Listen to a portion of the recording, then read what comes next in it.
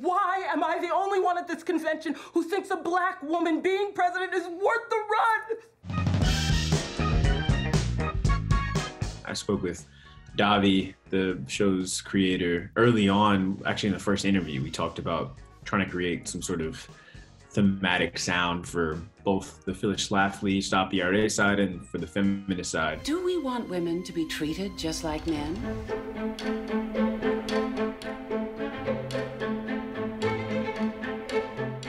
The Phyllis Schlafly sound and um, sonic palette became very traditional and using a lot of um, snare drums and orchestral elements like flute and some trumpet and uh, strings, obviously. Thank you. You did not come here to be delivered. Then for the feminist side, it had more um, like found percussion, hand claps, and tambourines, and different things like that, or even hitting the sides of random drums or plastic jugs or different things like, that. Guitar and synths became a bit more of the sound for their side of things.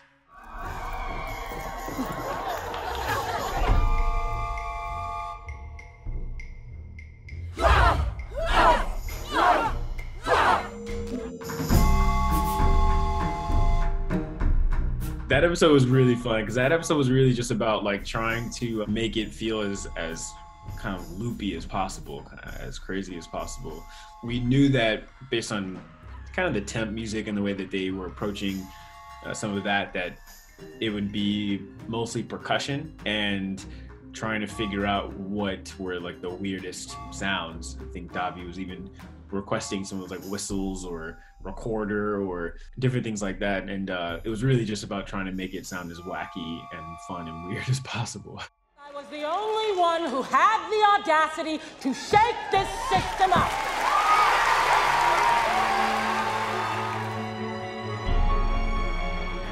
Her episode was really what uh, cemented the sound of the feminist for me. I think that, yeah, working on that episode, I think it was really just interesting how we're, we don't talk about that more. You know, I think that like that was something that I I was really excited about in seeing this show and seeing that episode. But you know, it's something that I feel like should be a much bigger part of history in general. It's a little surprising and saddening to me that um, the only reason I know about that is just because of probably being um, being black and like you know my family talking about that and then learning about it on my own but i can't remember any sort of educational environment where somebody told me about shirley chisholm and being able to see this episode and see how well um, Uzo Aduba did with with the role was just uh, really inspiring. Here you go, Ms. Schlafly. It's Mrs. Schlafly. I'm married.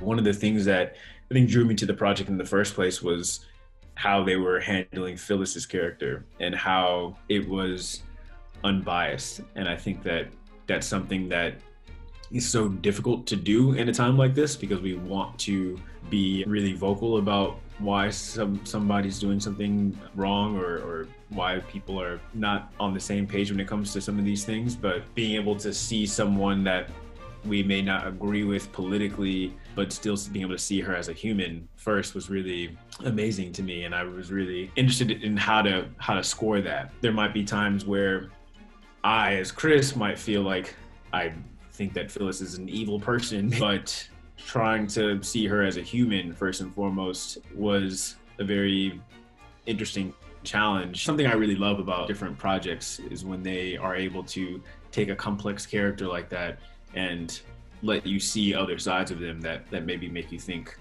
a little bit deeper into who they are as opposed to just this surface level beliefs that we maybe disagree with. We are just beginning to discover each of us who we can be and no matter how long this revolution may take, there can be no turning back.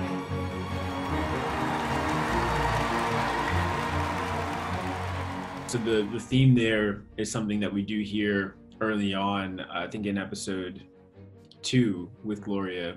And the thing with that that scene was just the pacing of it again. I think that was the most interesting thing about this show in general sometimes. And so the beginning has this like slight undulation to it or slight like rhythm to it. I feel like that was one of the cues where you can just hear each shift if you're paying attention to that, but wanting to make that feel as seamless as possible. So by the time we get to the the end, just feels like a it was this natural swell.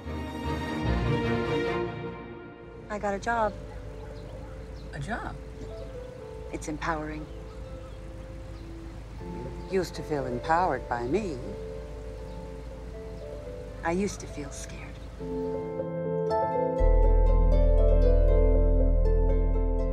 That scene was trying to combine their the, both of their themes, Alice's theme and Phyllis's theme, in a more emotional way. And there's a sadness to the end of their friendship and to how they both seem to feel about that. But also, we wanted to represent how empowered Alice feels in that moment. So it's such a subtle cue, but but it was a cue that um, we really wanted to feel that shift as Alice is driving away. That she really felt like you know, this is the really, it's kind of the first time that she's ever stood up to Phyllis this entire time.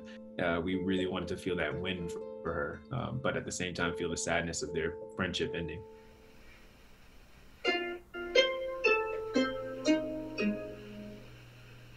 Awesome. That was octaves.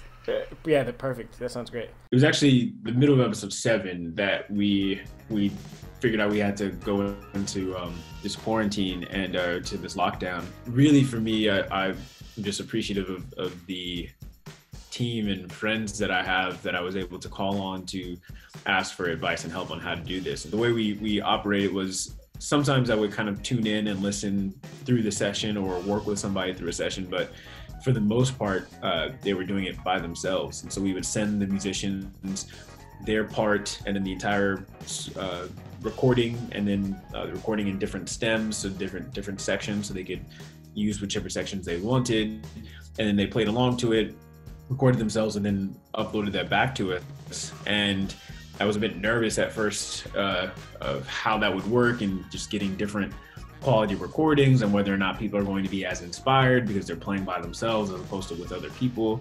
They still brought such musicianship and, and love to the music that they're playing even by themselves. And when once we put it together, it actually all it all felt uh, felt like it was gelling really well.